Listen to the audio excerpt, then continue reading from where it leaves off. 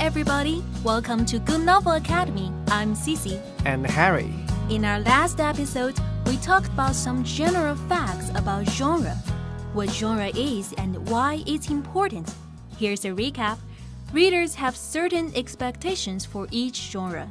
As a writer, you need to satisfy their expectations to keep your readers reading, aka play accordingly to the conventions. Plus, you'd better not cross too many genres. Otherwise, you will be swallowed by conventions. You may select one major genre for your story and you stick to it. So, for today's episode, we're going to talk about two romance subgenres in detail. If you find it hard to decide on your subgenre, hope this episode gives you some inspiration. As editors, we are frequently asked by questions like these What genre sells the best? If I follow the conventions, will I be able to come up with a unique story? The answer to the first question is, as always, romance sells the best. That's why you find so many romance stories on our website. That's true. But we don't want your choice of genre to be influenced by this fact.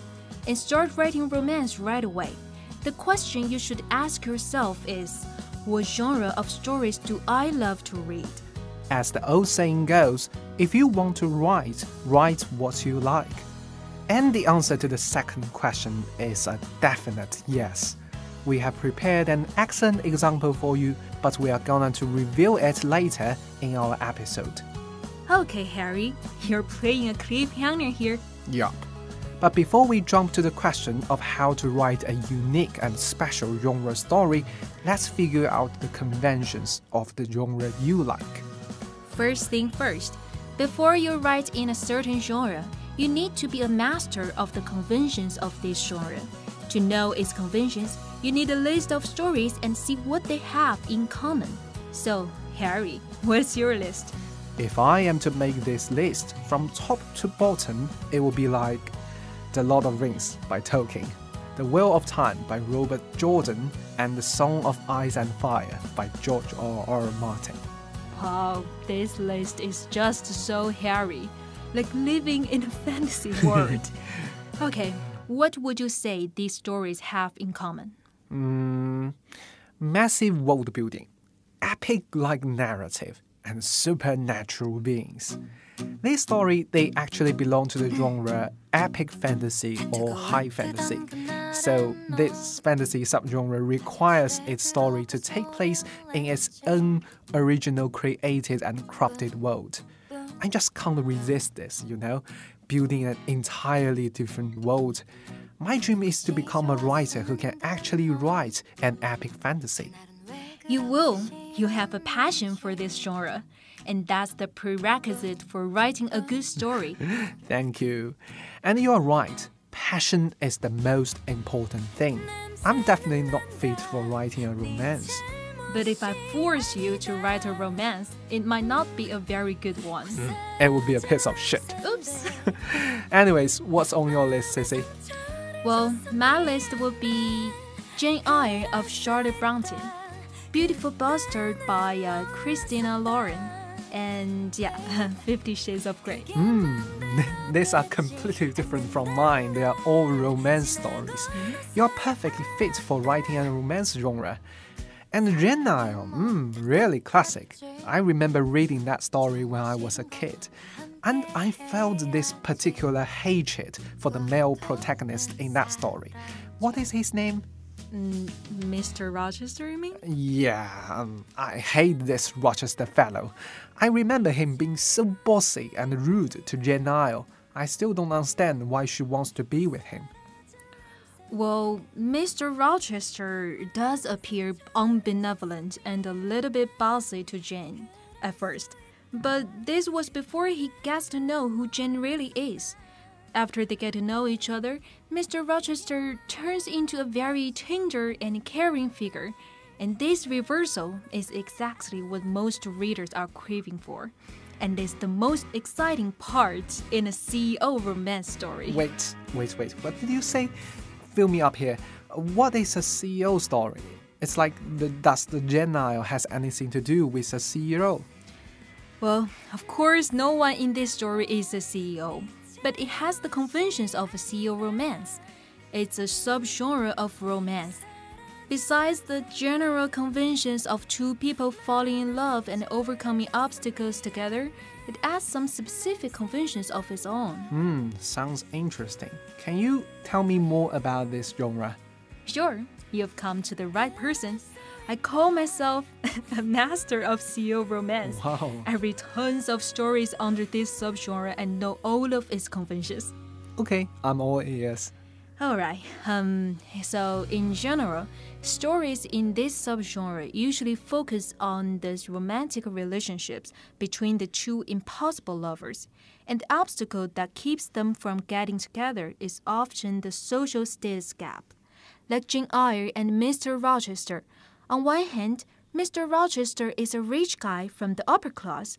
On the other hand, Jane is an orphan girl from the lowest social class. So their love has crossed class boundaries. Indeed. And that's why it seems impossible at 1st mm-hmm. And that's also why they held prejudices against each other at first. The readers want to see this impossible thing coming true and to see the true lovers changing their minds upon each other. Mm, if that is the case, we can say the same pattern also apply to Fifty Shades of Grey, in which we have this Christian Grey, a young business magnate, and Ana Steele, a college graduate. Yes, and at first, Christian only wants to build a sexual relationship with Ana. Mm-hmm. But in the end, he falls in love with Ana helplessly, and this is the plot reversal that audience are expecting. Okay, I see. So Romeo and Juliet is not a CEO romance, right? Because both of lovers are of the same social class. There's no difference between them. That's right. What about Titanic? Rose is from the upper class while Jack is the working class. Does this qualify the story as a CEO romance? Well, no, because Rose is not a CEO. I mean, um, it's not only about her social identity, but more about the personalities. A CEO like protagonist is usually bossy, arrogant, and sometimes controlling, who, after falling in love with the female lead, changes into his opposite version. Okay, one more question. Is this CEO figure always a male? Not necessarily. For instance, Miranda Priestly in Devil Wears Prada is a CEO like character, but it's not really a romance story. It can be easily adapted to a love story with or uh, without changing the gender of Miranda. Yeah, that could be interesting. Anyways, the low-born protagonist in the story also has a convention to follow. She or he has to possess certain outstanding characteristics that could distinguish her or him from others and attract the CEO figure. The common cliche is the girl is extraordinarily beautiful. Um, I'm not someone upholding political correctness, but I still find this cliche annoying. I mean, guys, it's 21st century. Girls has better thing to do than simply being beautiful. Let alone the standard of being beautiful has long been changed. I can't agree more. You see, instead of being pretty, she can also be very smart, brave, hardworking, or uh, has a strong determination to reach her goals. Jane Eyre is a 19th century classic, and its character building is better than many, I would say, many CEO stories of our age. Right.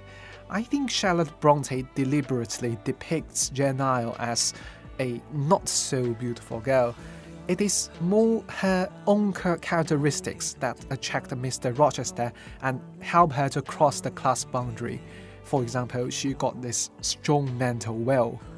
Oh, I love Jane Eyre. I think it's partly because the character design is way beyond its mm. time. Yeah, I agree. Well, it's only my personal opinion, but I think it's important to give the female a strong inner world, like being smart, independent, and motivated. Many CEO love stories like to depict a weak female lead who is innocent, indecisive, totally under the control of the male lead. Well, I have to say, as a reader, I find it hard to relate myself to such a girl. Yeah, I know what you mean. The old fashion has changed. Today's world no longer favors weak female leads. When we read about a princess being locked in a high tower, we expect her, on her own free will, to escape the tower, rather than passively wait for the prince to kiss her awake. When you read through the most popular CEO romance stories of our age, you should find they all have this strong female lead. That's true. But Cici, um, if all the CEO romance stories have the same set of conventions, does that mean that writers can do is only mass produce similar stories using the same formula? Well, this is the concern many writers have how to make my story stand out from others in the same genre. Here comes our example we have mentioned at the beginning of our episode. It shows you how to play with genres. yeah, set up and pay off. Exactly. Okay, recently I've been watching a Japanese TV series called uh, This Guy is the Biggest Mistake in My Life. Just like most CEO stories, we have a good looking CEO named Amagi who falls in love with a rather ordinary contract worker named Sato.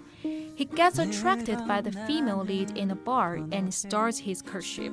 He buys her flowers and treats her with delicate banquets. Ha, same kind of CEO cliche. What makes this one stand out from the vast sea of CEO romances? Good question. It's all about the character design.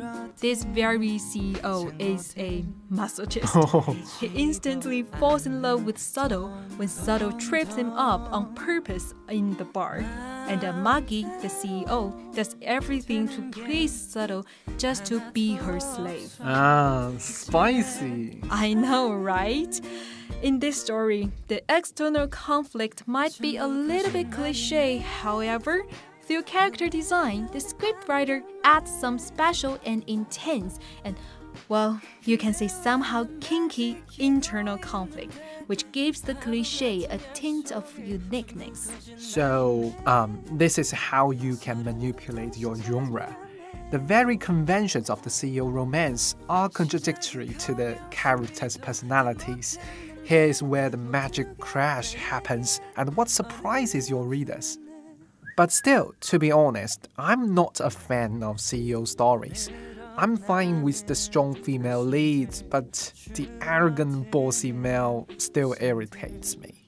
Why? Because you're not a boss? No, I just don't like that kind of person, you know, who thinks himself highly above and can get everything he wants. Why do you girls like these stories? I mean, do you find this kind of bossy males charming, marriable? Well, um, only speaking for myself. I like to read this kind of story not because I want to marry like a CEO myself, mm. but because I want to see a transformation in this arrogant um, jerk. a transformation? Well, um, this guy may start doing something really annoying, but gradually you know that he is not born a jerk, and there is something good in him. Eventually, you find this guy um, somehow adorable. So, what attracts me is not the arrogant to rich fellow, but the idea that everyone deserves to love and to be loved. Ah, I understand now. Mm, this reversing trope sounds very familiar though, like um, teen fictions. They often have this bad boy character, right? Yes, and also mafia stories. Ah, mafia's romance. That's also a popular subgenre. Yes, and we have lots of mafia stories on our website, but I'm not a fan of it. Why is that? Mm, well, they are usually too intense for me. Mm. I prefer light and sweet romance stories, a dose of sugar and spice, and everything nice. Wow, I know. Uh, it's like um, before sunrise, right? I, I have read very yeah. few of this kind of stories. yeah, before sunrise, that's my dish. Well, mafia romance is everything but sweet and heart lightening. Yeah, they are usually dark, right? Gunfights, bloodshed, conspiracies, and killings, kidnappings, drug dealings, and badass boys. yeah. and that part I do enjoy. Mm. Anyways, mafia romance usually tells a love story that is not particularly happy and includes lots of dark elements. This is because it belongs to the dark romance subgenre. Wow, dark romance. The name already sounds badass. What are its conventions? Well, a dark romance must involve protagonists with questionable moralities. Think of a vampire or uh, maybe a demon. So, many paranormal stories also belong to the dark romance genre, right? Right. If the vampire or a werewolf enjoys killing or some other dark stuff. But this guy cannot be extremely evil. He must have something good in mind. Maybe um, he's forced to do bad things, or um, he's pushed by instincts. Whatever reason, um, this guy must have a lover who understands him and brings salvation to him with love. That's the romance part. I understand. So, mafia romance follows these conventions. It's just not of a paranormal setting. The badass boy is now a mobster, but all the dark, taboo elements remain. Yes, and it adds some other conventions. For example, a mafia story usually includes old mafia families, like the Corleone family hmm. in The Godfather, following an old set of traditions and patterns. And the families are usually Italian or Russian, right? Accept this justice as a gift. Alameo. That's right. But I guess it's a stereotype. There are also some um, stereotypical character designs. For example, a possessive, dominating male saying tough talks like, I will kill you if you want to run away. or, um, no one touches what is mine. Oh my god. yeah, and a somehow submissive female, like innocent, kind hearted, like the exact opposite of the male protagonist. Right.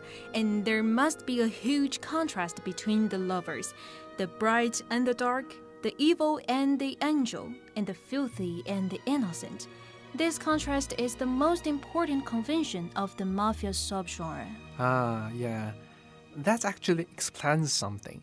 I once read a mafia story in which the writer breaks the convention and depicts the female lead as strong and brutal as the male.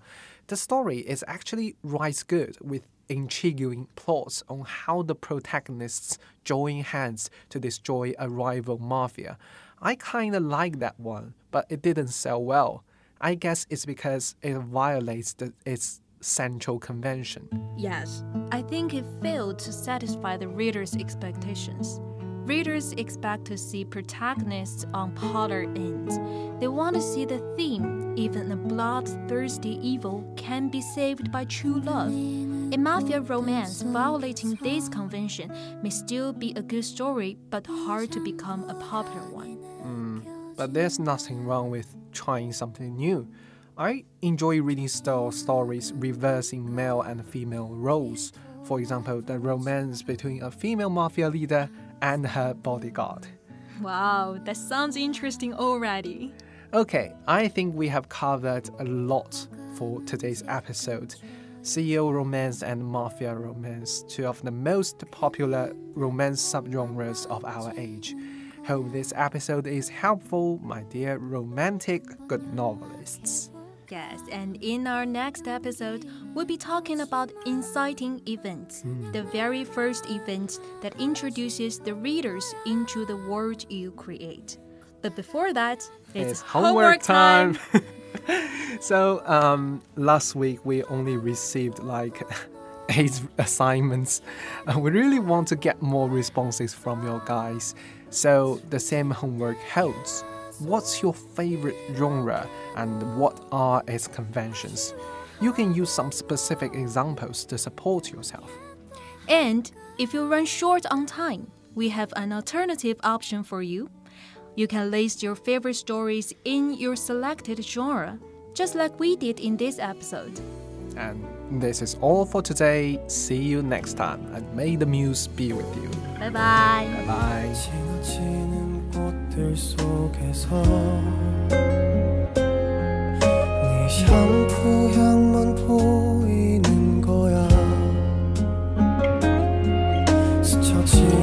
지나간 건가?